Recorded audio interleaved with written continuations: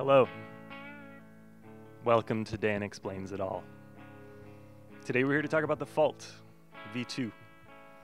I don't think you and I ever talked about Fault V1, uh, but we don't really have to rehash those features because they're all in here along with a bunch of new ones. Let's get into it.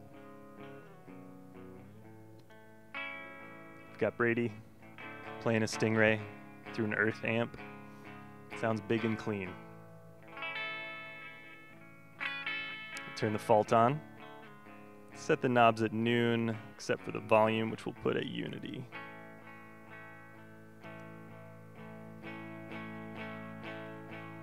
Nice soft little initial gain stage. Also, soft, feel these switches. I mean, you can't feel them, but they're soft touch switches now, which is nice. Just uses standard 9 volt center negative DC power still. Uh, true bypass when it's off. Relays when it's on. So let's start with the gain range of gain 1, which is the first gain stage, as you might have guessed. I'm going to turn it all the way down. I'm going to bump this volume knob and show you how much boost you have on tap with the gain knob all the way down. Basically, this can act as a pretty big clean boost. Just huge volume going into whatever your next stage is. I'm going to dial the volume back to about a quarter of the way. Slowly turn the gain up.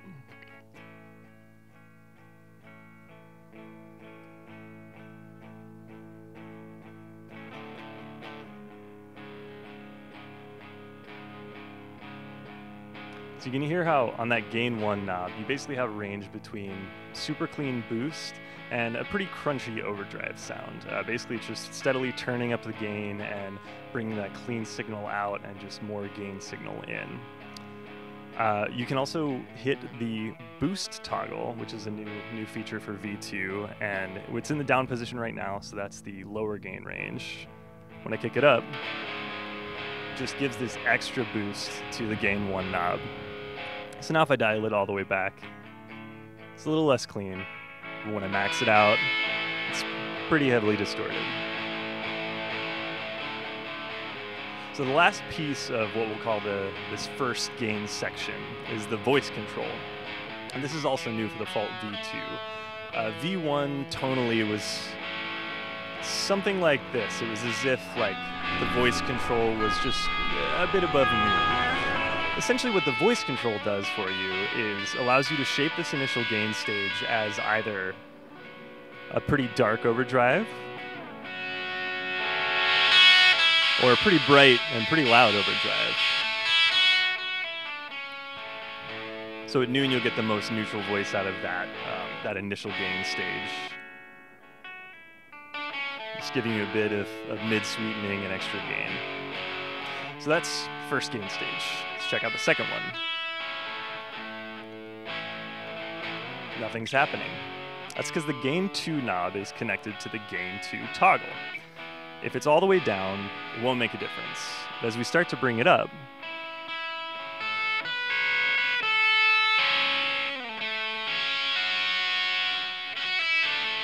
you get an extra boost to your gain. And basically what's happening is we're doing our initial gain shaping through that gain one voice boost set of controls. And then gain two hits an additional stage later on, and you're just boosting this gain to really slam that, that second stage.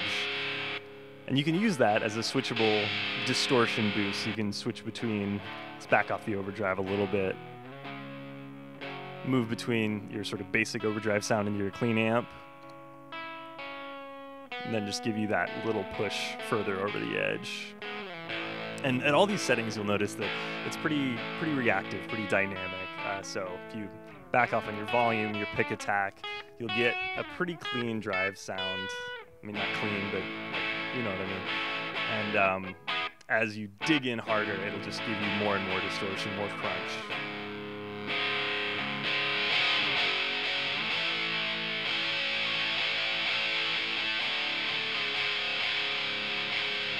So that's the basic gain range. After gain one and gain two, the next step in our circuit is the three band EQ. uh, which existed on the Fault V1, but it wasn't on sliders, so it wasn't fun like it is on the Fault V2. Let's check out the range of each of those sliders. I'm going to bring them all down first. Almost gone. Pretty big amount of cut available on each of these. Low toggle brings in your lows. You just hear that kind of like thump of the low end there.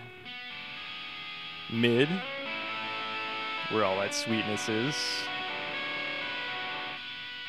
And high, all that cut and attack and aggression.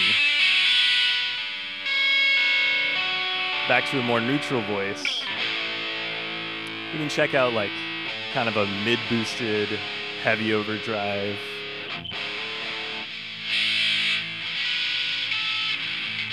Heavily scooped, really aggressive drive.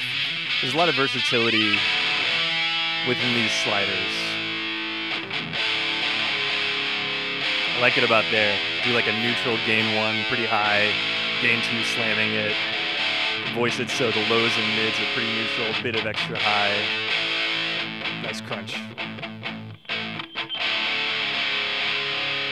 So we're almost there. This is a really accessible pedal. There's a whole lot of gain range in it, but it doesn't take a lot to understand. Let's check out the last thing, which is the crush toggle.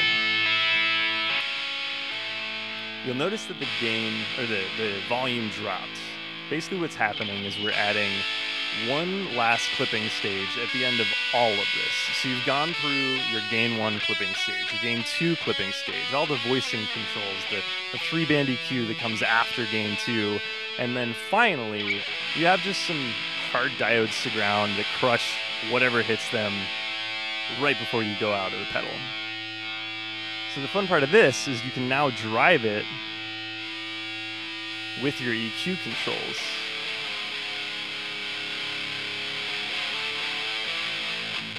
And it's just this huge, crunchy, gross, but then still clear in a way sound. If you hit the voice control high, like while we're just totally maxed out, it'll start to squeal on you. It's fun. You can kind of play with your volume knob, get it to do different pitches as you go along.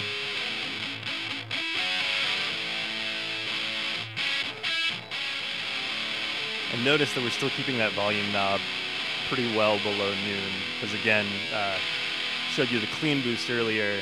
Now think of all that gain we've stacked on top of it and imagine boosting it. I'm not even going to do it because I don't want to hurt Brady and the rest of us. That's it.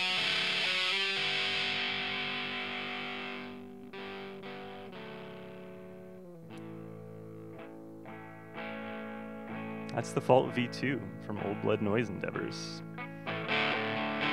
It's available now. Sounds real nice. Thanks for hanging out.